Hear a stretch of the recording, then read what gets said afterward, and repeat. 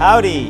Welcome to our talk show where today we are honored to have Jorge Bermudez join us uh, from, actually today from Austin, Texas. Uh, and he's going to talk to us uh, about his time uh, both in Aggieland and his career beyond, beyond that. Uh, Jorge was a, uh, a, student in the College of, of Agriculture here where he studied agricultural economics and business and he also made the vast majority of his career at Citibank, and he has a real insight into innovation at both Citibank and the financial sector overall that we will we will discuss among other topics. So Jorge, welcome. Thank you. Thank you very much. Great to be back in Aggieland.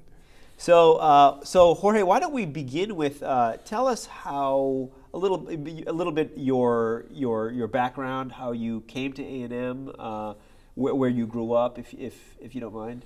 Uh, yeah. No, it's a long story though, but I'll, I'll try to shorten that. Um, I'm originally from Cuba, and so I came to the United States when I was 10 years old uh, with my brother, and we went to live with a foster family in California. We eventually reunited the families, uh, and, and my father began working with the Inter American Development Bank out of Washington, D.C. And so I finished high school in Bogota, Colombia, at the international school there.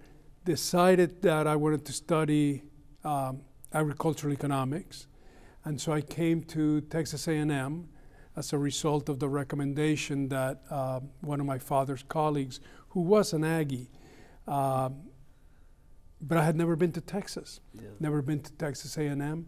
I knew very little about the school. Uh, in fact, it was quite a shock when I got here and found out that there were very few females in the school, and there was primarily a military school. Yeah. Uh, so that's how ignorant I was of Texas A&M at the time. But that's how I ended up here, and mm. uh, I can't say it was love at first sight, but certainly over the four years, I came to enjoy my life here, made lots of friends, and uh, uh felt I got a very good education out of Texas A&M. And just curious, your your childhood in Cuba. I mean, that's that's unusual. Can you tell us what that was like? Do you remember of uh, living in, in, in a society like that? Yes, uh, I actually remember a lot of that. Uh, we had my father was a banker in Cuba, but we also owned a ranch, uh, and then we had the revolution. Uh, Castro was trying to topple a dictator who was extremely corrupt, and so he received a lot of support from the population in Cuba, including my family.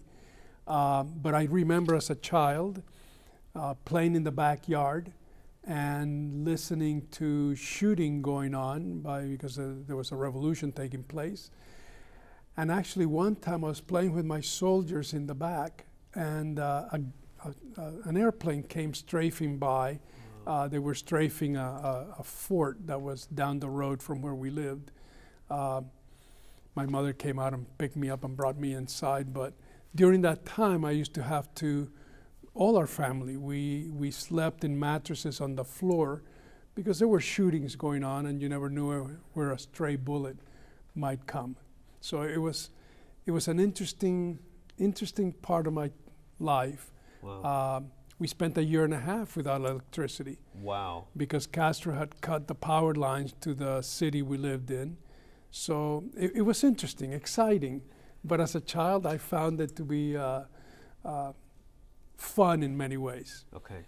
How old were you when you left Cuba? 10. 10, okay. Yes, I left okay. without my parents. We I came see. here, just my brother and I. Okay. Under okay. a program called Pedro Pan, Peter Pan where right. they took out 14,700 children right. without their parents right. uh, and brought them to the U.S. to be either with foster families or in orphanages around the country. I see. I see. Interesting. Interesting. Now, now let's uh, fast forward to your time at, at Texas A&M. So uh, I'm sure you didn't know many people when you when you came here. You weren't part of many communities that sent a lot of students to to A&M. What was that like for you? Well, my arrival here was was it was difficult yeah. to be very honest with you, uh, especially because I had never been to Texas. Yeah. I certainly had never been to College Station. College Station was extremely different uh, then from what it is today. um, beginning with the fact that all students seem to go home on the weekends, uh, but I started making friends. And uh, one of the things that I found out early on was just how, how good um, Aggies can be and Aggies can be to each other. Uh, my first day here, I walked out of the housing office with two trunks. It was the 4th of July of 1969. And I got lost. I didn't know my way to my dorm. Uh, and I ended up at Northgate, up at the uh, post office. And I was supposed to be down by Duncan Hall yeah. in the southern part. And this, this young man in a, in a truck stopped and said, Are you lost? And I said, You don't know how lost I am. and so he took me to my dorm. Uh, and I, that, that began my, uh, my uh, understanding of how Aggies help each other and, and just frankly, what a wonderful school this was. Right. Right, right. Uh, let me let me give you uh, ask you a pointed question. Tell me the, the best and the worst of your time at A and M. The best and the worst. Uh, I would I would say the best was probably the fact that as I matured here, I was given the opportunity to mature. I have to say that when I arrived here, I was probably quite immature in many ways, and uh, I received uh, a very stern warning from the dean of the uh, College of Agriculture, uh-huh. Dr. Potts, who sat me down after my second semester and said, "You're not the man we thought you were when you were admitted to A&M." Um, and it, there was there was a conversation that seemed to last a century. I'm sure it didn't last that long. Uh, but at the end, he said, We're going to give you a second chance to see if you can be the man we thought you were. Uh. He says, And I've met your father. I know the man he is, uh-huh. but that's not the man you are. So uh-huh. let's see if you can prove to us. Uh. That I catalog as the best because it actually was an educator who took the time to give me advice and put me on notice that life was different. I was here for a purpose. The purpose was yeah. to get an education and do yeah. something better yeah. with my life. And so, I, I, even though it's a very stern talk at the time, he changed my life. Huh. Uh, I became a serious student, and I was able to do the things that I should have been doing from the beginning. Right. So I catalog that as the best. Okay. Uh, the worst, frankly, was probably my first semester. Um, living in an unair conditioned dorm in July and oh, August right. and September, uh, very hot, uh, and not knowing people at that point, and finding that the campus would empty out every Friday, uh-huh. and not having friends initially. That transition is very hard. Uh, sure. So I would actually catalog that as probably the worst part of my experience at A&M. Okay. Okay.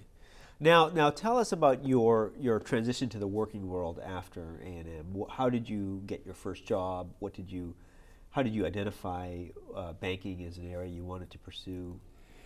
Uh, I wanted to be a banker um, since I was a child. I remember visiting my father's bank in Cuba, um, and then later on, uh, while I was in high school, uh, and liking what happened in a bank, uh, liking as I learned more about what bankers do and how they help in the development of, of economies and people and companies. And so I wanted to be a banker, but I loved agriculture. Mm. And so I tried to marry the two by uh, majoring in agricultural economics. Yeah. Uh, and that's, uh, I found that to be the right balance because there's so much in agricultural economics that's really applied economics. It's taking economics and applying it to markets, commodity markets, but it is applying that knowledge to markets. And I enjoyed that a lot. Um, when it came time to get my master's degree, I decided that I wanted to go into agri banking. Uh, so I was able to work out with the College of Agriculture so that they would allow me to take a majority of my courses in the business school, uh, that accounting, finance, management, etc., uh, that would help me achieve the goal of becoming a banker. Uh, as a result, uh, Citibank uh, had just started an agri commodities department, and it was it was populated by uh, Citibank was a New York Center bank, and most of their, in fact, all of their employees uh, and officers were uh, people who had been educated either with an MBA from one of the uh, Ivy Leagues or, or from the University of Chicago, but they had no one with a true agricultural background. Uh-huh. So they came to recruit at A&M uh, as a result of the the relationship our department head had with the head of that department at, at Citibank. Uh-huh. And they came down, I interviewed, and um, there were like 15 of us that were interviewing. I thought I had a very bad interview, but I guess it was good enough. And they reached out and hired me. So I actually became the first Aggie to be recruited and uh, actually make it through the executive training program of a money center bank. Uh, so I was, I was very proud of that. It also showed me, by the way, something that for me became very important, and that is I had a Master's of Agriculture degree from the College of Agriculture, and I was competing in the training program with MBAs from, like I said, the University of Chicago and uh, the Ivy League schools. And what I learned very quickly was that the education that I had received at A&M was the quality of education that allowed me to very effectively compete with the other trainees Uh-huh. who came from better known schools at the time. Because Texas A&M at the time, Sure. Korok, was not as well known nationally as it is today. Right, right. Wow. And, and was that uh, was your first assignment in New York City? It was, yes. So the very different again, very transition from College Station to New York. I don't know if Yes. that different is that difference greater now or smaller? I guess Uh, would you say? It's it's probably smaller today because we're a Uh-huh. much more interconnected society Yeah, than we were at the time. yeah. Um, so the transition was probably more difficult at the time, but it also taught me something. I, I sometimes am asked to speak to how do you, what are the differences, cultural differences that allow you to do business around the world? And one of the things that I learned early in my life when I was 10 was coming to another country, having to learn a language, and having to adapt to a culture that I was completely unfamiliar with. And that helped me along in my career. Um, when we had, when I had to move to various countries, I've lived in numerous countries and done business in in 104 of them. Uh, but it helped me be sensitive to what, how important a change in culture is and how different cultures can be. And there was no question that coming out of College Station in 1974 Right. uh, and going to New York City at the time was very different from, from what I had learned up to that point. And so you've spent your entire career at Citibank. Uh, Yes, that- which yes, I is did. which which today I think seems almost very unusual, if not impossible. Uh, so obviously that's a long career to unpack. Uh, maybe tell us about those those early years. What you, what were you doing? What what divisions were you in? Well, I started my career in the agri commodities department in New York City. Yeah. Um, and we were basically, the, the, the charge was uh, being a relationship manager to commodities companies like uh, Cargill and Continental Grain, et cetera.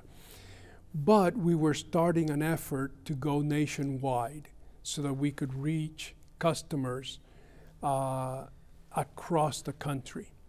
So two years after I was, I started in New York, they transferred me to start the agri commodities office in Houston and cover the southwest part of the United States for Citibank. And that was a great experience uh, because it showed me how important and what are the critical factors when you're starting a business. We started with zero customers, zero revenues, and just an expense base. And we had to figure out how to create a market, how to create prospects, and how to convert those prospects into customers so that those customers could begin to generate revenues for the bank and make our office viable. And that was an extremely important lesson that I learned early in my career uh, in terms of making sure that you begin to understand customers' needs well enough when frankly many of the customers didn't even know what a Citibank was. Um, so that was an early experience that helped shape my career a lot. I see. Um, I did that agri commodities for the first five years of my career. And then I was transferred to the uh, what Citibank called the uh, institutional recovery management, which was the area of the bank that restructured uh, major companies that were in trouble. Uh, you're too young to remember, but there were companies like Pan Am, uh, which was in trouble at the time, Right. uh, Macy's, Johns Manville, Rio Tinto, which were all major economic groups, but they were they were in trouble. They had borrowed too much and they couldn't repay. And so, again, at a very young stage in my life, I was probably at that time uh, 28, 29. I was given responsibility for some major, major workouts of companies where you had to sit across the table with 140 other banks and negotiate new terms and try to restructure the companies so that they could actually survive, uh, which is truly financial engineering at its best. Right. Trying to find what is the healthy core of a company that you can then build around so that it can then begin to repay bondholders or, or debt holders like banks uh, and still provide some return for shareholders. So I, it's, it was pure corporate finance and I just, I enjoyed that part of my career tremendously. Um, I got the opportunity to go overseas. I spent uh, a year and a half in Spain, spent time in Mexico, and then I was transferred full time to Venezuela to run the corporate investment bank uh, of Citibank in Venezuela, uh, which was again a very good experience because at that time the countries in the developing world were going through their debt crisis. And so we had to restructure the debt of sovereigns. Uh-huh. And again, I learned a whole new facet of finance, which is understanding government's finances and how to restructure them, keeping in mind the societal pressures that governments feel and need to support, together with the need to repay what they have borrowed. And so that was also a very exciting part. So that took care of probably the early part of my career. Now, just uh, I got to check if I have the financial history correct. Uh, for most of your career, uh, we were under U.S. banks were under this regime where there was a separation between the commercial and the investment banking, Yes. and then I think '99 was where that that flipped. So, uh, what was uh, and you've been at Citibank kind of over both horizons. Uh, do you have any any thought? thought does that did that impact your career at all, or did you? It, it, it did in a way that before 1999, uh, although we had the corporate and investment bank businesses inside the bank, we kept Chinese walls Yeah.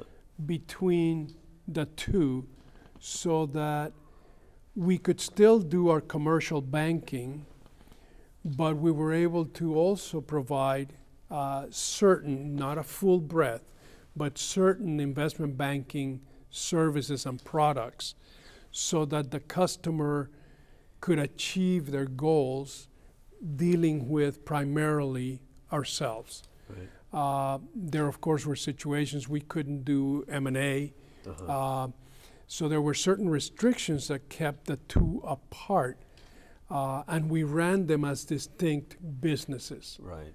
uh, versus merging them together, which is what happened in 1999, which was, by the way, as a result of yeah, that's right. the creation of Citigroup, right. which was the merger of Citibank with, at the time, Travelers.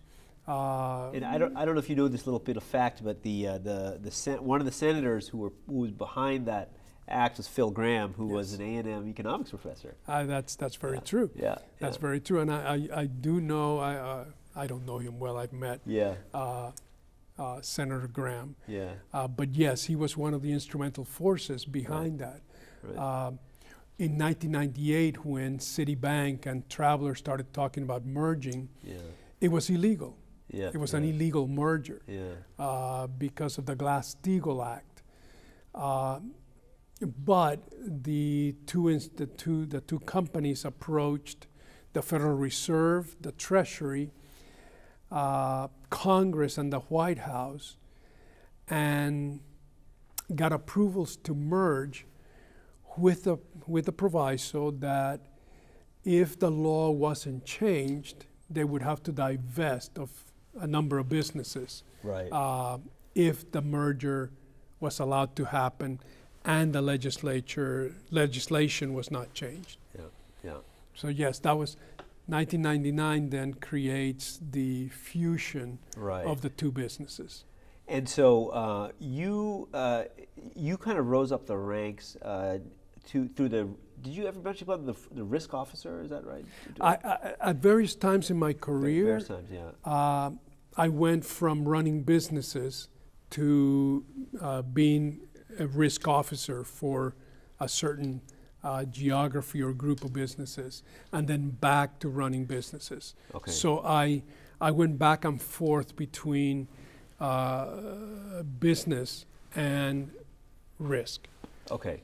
And then you all, so from 99 till your retirement in 2008? Is that- 2008, yes. So that was uh, a very interesting time, right after the, I guess, kind of the start of the first internet bubble to the financial crisis. That's correct. Yeah. So can you tell us about, about those years? Well, I can tell you that um, I, I, I spent the majority of those years in the business side of the business, Yeah. uh, as opposed to risk. Um, but you know, if, if I look at my career, we lived through a just in, in my I was with Citi for 34 years. If I look at my career, we had the the developing countries crisis that Yeah. almost bankrupted a number of banks. Uh, we had the savings and loan crisis, which did bankrupt Yeah. a large number of institutions. Uh, we had the banking crisis in Texas, which created a lot of turmoil in the financial world here. Uh, we had the real estate crisis in the early 90s with the mortgages. Then we had the tech bubble the, the, in 2000. Right. Um, and then the financial crisis in, in, in 08, oh, actually, actually began in 2007 and blew up in 2008. Uh, so I had a chance to see a number of these financial uh, disruptions in the market, uh, which created both risks and opportunities, uh, which is the way you have to look at, Right. frankly, markets, is uh, wherever there is volatility, there's risk and there's opportunity. And yeah. the critical part for people who are playing in those markets is to determine where's the risk, understand the risk, where are the opportunities, and take advantage of the opportunities. Now, let me let me actually uh, pivot the conversation a little bit towards uh, innovation in, in the financial sector. Yes. Um, if you want some water, please feel free.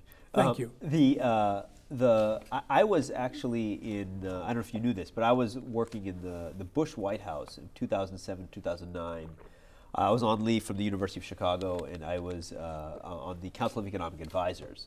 And I'll tell you, up until the point I, I arrived in July of 2007, and essentially for maybe the five years before that, you know, Chi- Chicago was uh, it it was still is very much the hotbed of financial economics, and My, financial. my, my wife tells me that all the time. She has an MBA from Chicago. She so does, She right? tells me that all the time. That's exactly right. That's exactly right. Yeah. Um, the the view then was that the, the financial innovation in the in, in Wall Street through securitizing risk was unambiguously good. That was essentially right. That's what I was essentially taught at the lunch table at Chicago before I got to Washington, and then once I got there, essentially July of uh, of 2007 is when credit spreads started blowing up, the debt market started collapsing, and then eventually the equity markets. You were in uh, at Citibank during that time. Uh, I'm just curious about your view of the of that of that specific financial innovation. Did you uh, did you know about what was happening at the time? Did you see it happen? Was anyone worried about uh, the downside risks? I mean, I know it's hard to look into the future at any point, but back then, how, how was it back then? You know, financial innovation is always, to me, is positive. It's how that innovation then gets implemented and, and used. Um, I would agree that what was happening was actually very positive potentially for the markets Yeah. and for the economy and for society. When it's taken too far is when problems, it's when a problem begins to take place. Yeah. And many of the financial innovations that you are making reference to were abused in many ways. Yeah. They were abused by, by investors, they were abused by banks, uh, and, and the crisis of 08, which began in 07, is a perfect example of how that can get abused. Uh, some of those securities and securitizations that were being sold to the market uh, were being structured in ways that would by nature create a problem if in that in this case the price of real estate was ever to come down Right. uh, banks were creating these securities.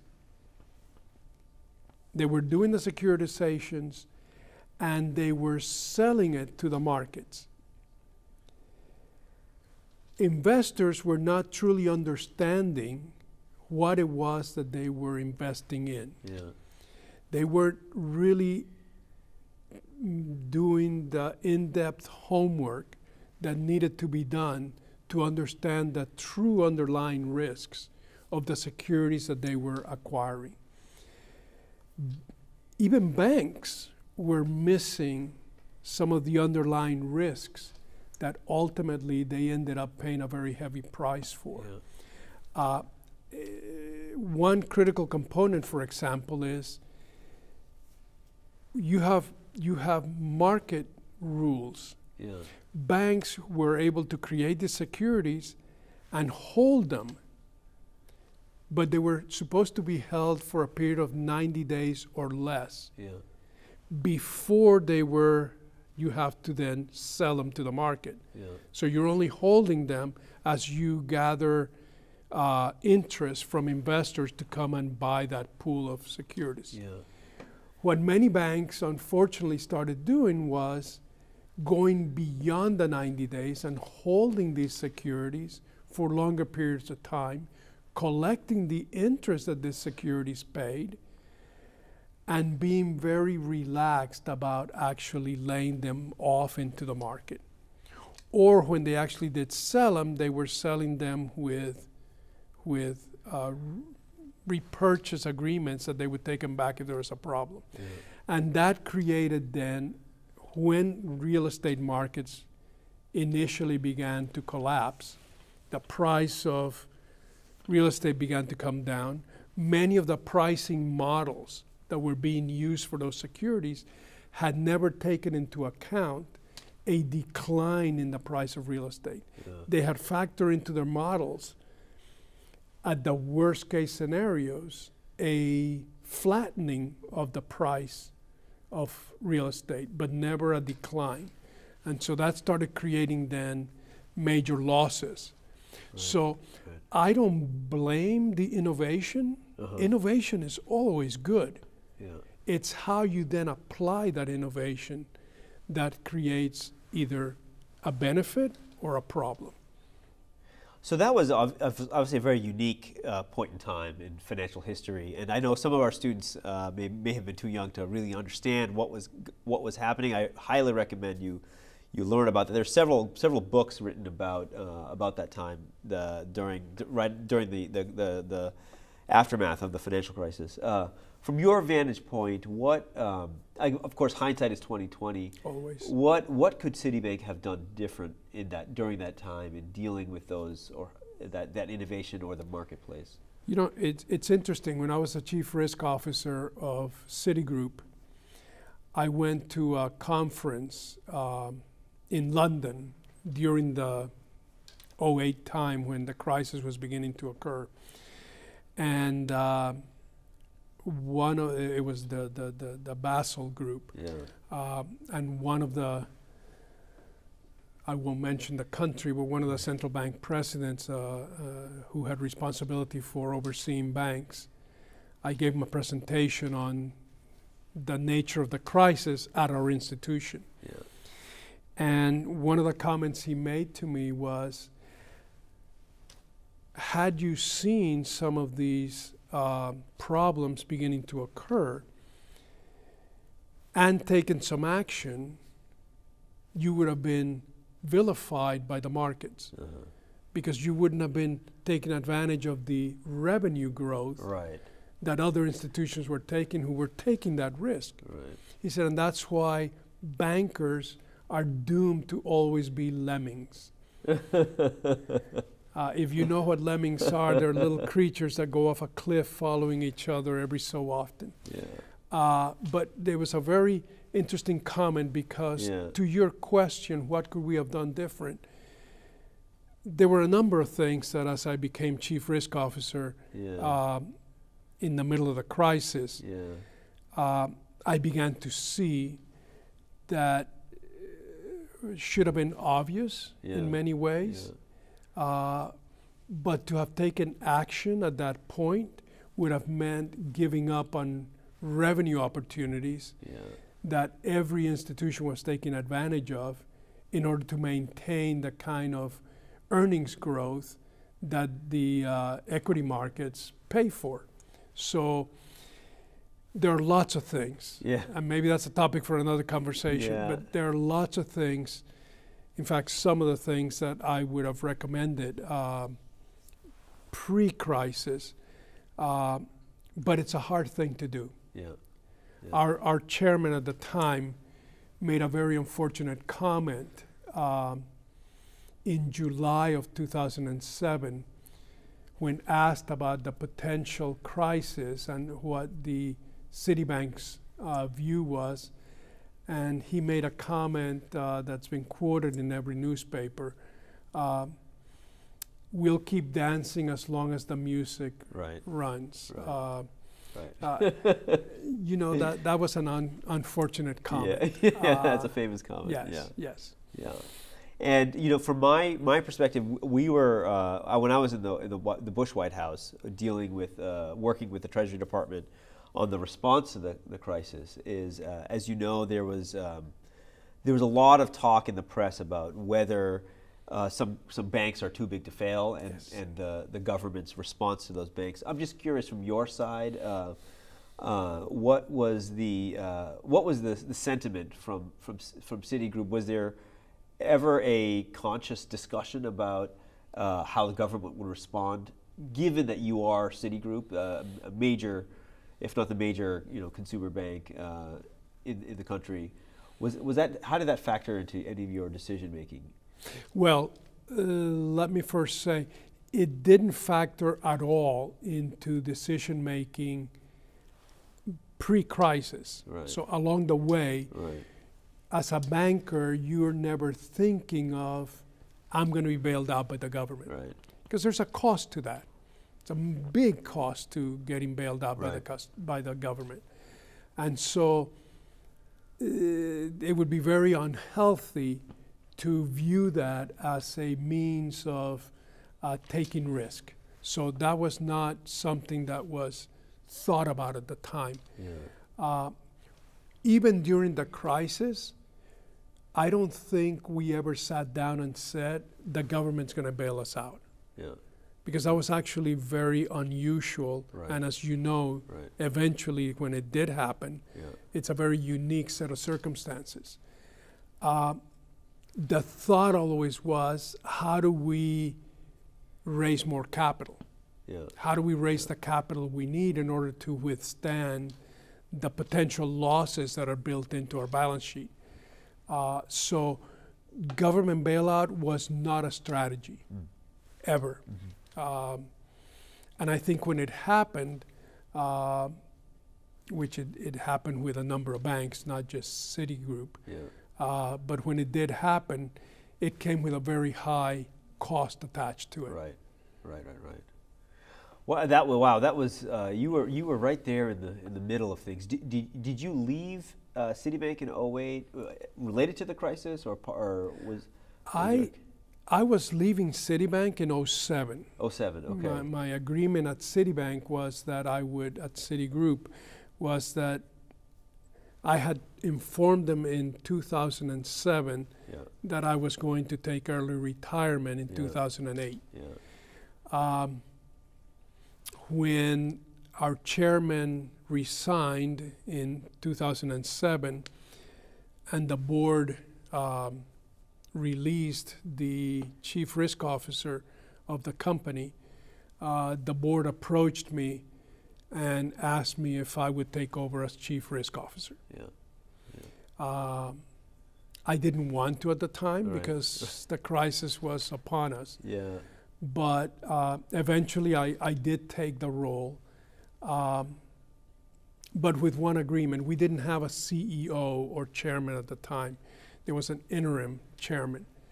And so the agreement that I had was that if the new CEO, uh, once he came in, he or she at the time, once they came in, if if we were not in agreement, I say tie at the hip, if we were not in agreement over what the strategy that was necessary to bring the bank out of its uh, problems, if we couldn't agree on that, then I could still exercise my early retirement option.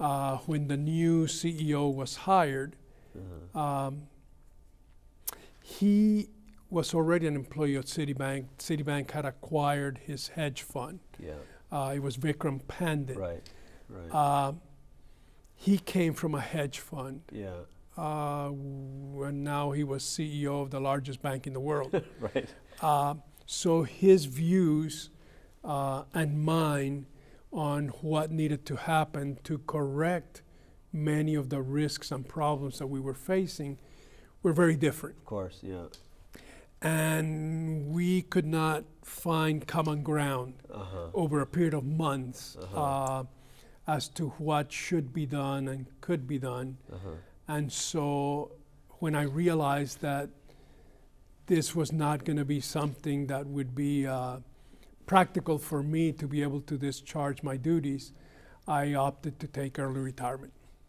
Well, that seems like you were walking into a difficult situation, uh, becoming chief risk officer at a time at the beginning of the crisis with an interim CEO and not having been the chief risk officer during the time when many of the decisions were made leading up to the crisis. It seems like an almost impossible situation to be in. It, it, was it wasn't easy. Uh, it was a challenge. Yeah, But you know, I had spent my whole career yeah, at this institution. yeah, and I had a tremendous amount of loyalty to this institution, and that's ultimately what led me to accept j- the, the role of chief risk officer. If I could still help this institution solve its problems, then for me, that, that there was a level of satisfaction in, in doing so. Let me now uh, uh, move the conversation up to the present. Um, uh, some of the hottest topics today are Bitcoin and blockchain and its potential for, uh, for changing the financial sector. Uh, we have an annual, uh, at the Mays Innovation Research Center, which is hosting this, this show, we have an annual Bitcoin conference. I just returned from the Texas Blockchain Summit last week. Um, do you do you follow the space? Are, are you uh, are you do you have opinions on how uh, how radical this innovation will be for traditional banking? Uh, any any thoughts you want to share? Well, at one point in time in my career, uh, in fact, it was from '99 to 2002. I was responsible for innovation at Citigroup. Right. That was my role. That's right. And so innovation has always been something that has been of extreme interest to me. Yeah. Uh, when I do follow it. Yeah. I'm not I'm not going to call myself an expert, but I do follow it. Yeah. And I think frankly there's a lot of debate about Bitcoin, the value of Bitcoin, of other cryptocurrencies. Uh, I don't know if you know this, but El Salvador right. has, you know, recently right. uh, made Bitcoin their national currency, yeah.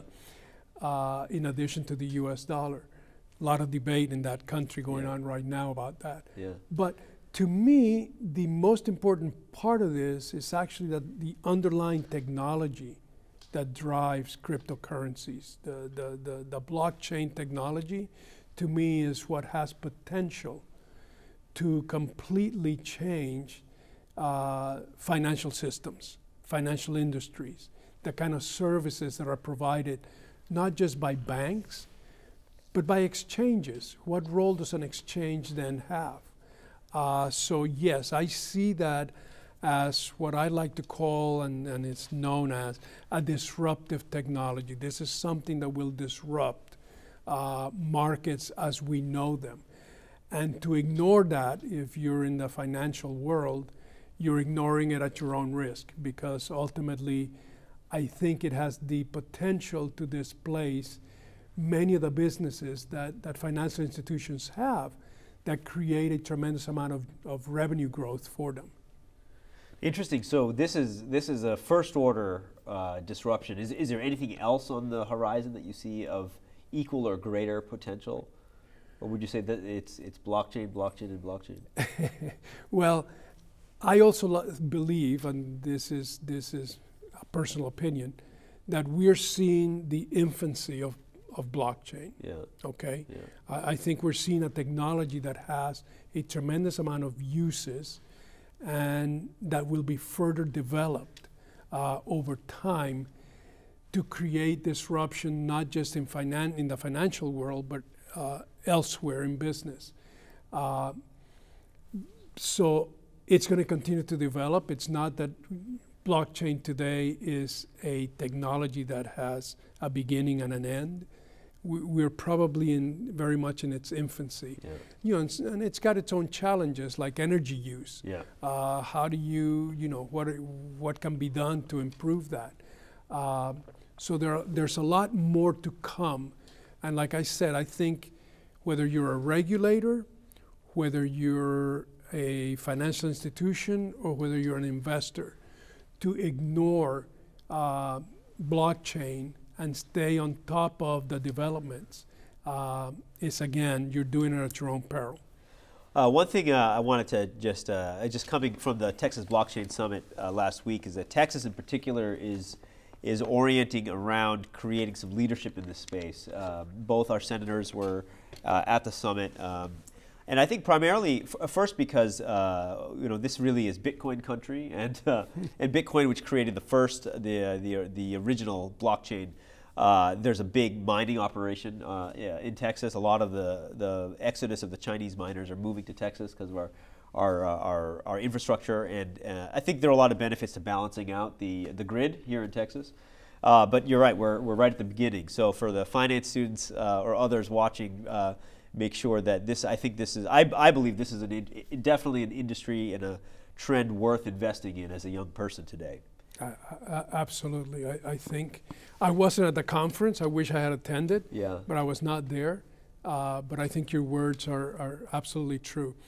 In part of my career, I was responsible for the uh, transaction services business and Yeah. payment systems at Yeah. Citi. Yeah.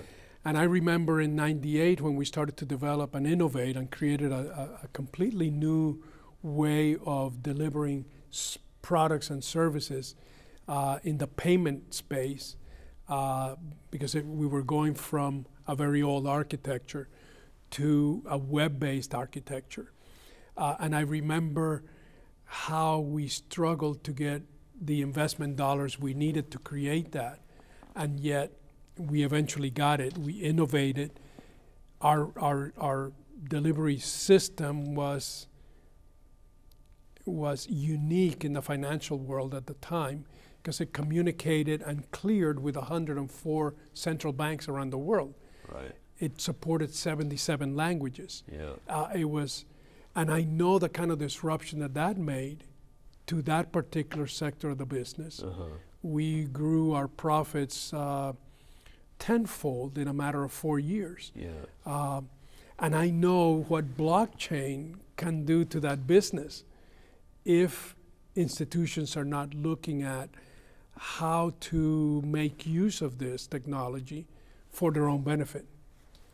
So uh, I, I, I agree completely with your words. And I'm glad to know, which I knew, but I'm glad to confirm that Texas is, is taking a leadership role in that. Yeah, yeah. Now tell me about this, this a little bit more about this innovation uh, group that you advised at, at, at Citi Citigroup. What was the? It was a department, or you were, you it was a committee. To, No, it, it, I was made responsible for innovation, um, probably because we were architecting and designing Yeah. something, and at the time, an internet strategy. The Okay. internet was in its infancy in 1998, uh-huh. Especially for, for banks and financial institutions. And we were devising a whole strategy on how to take advantage of that technology Uh-huh.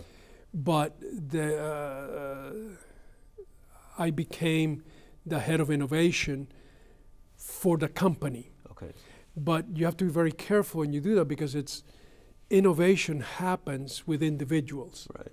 And in fact, one of the biggest risks you run when you're innovating is that if you bureaucratize the process of innovation or you overregulate the process of innovation, you you are you're putting a cap on it. You're Yeah. you're, you're not going to innovate as efficiently and effectively.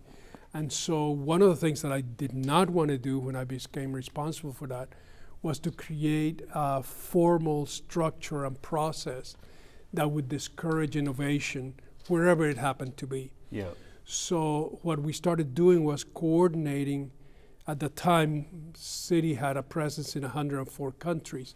So what we did was coordinate with all the countries new ideas. Didn't matter how small or big the idea might be, we were surfacing that so that it could be discussed at the right level Uh-huh. and determine whether we were going to place the funding and the resources to then grow that idea, make it eventually a product or service, and then be able to commercialize it.